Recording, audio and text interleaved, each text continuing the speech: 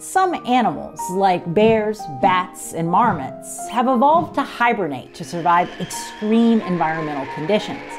Their temperature drops, their heart rate and their metabolism slows, all physiological responses designed to help them conserve energy.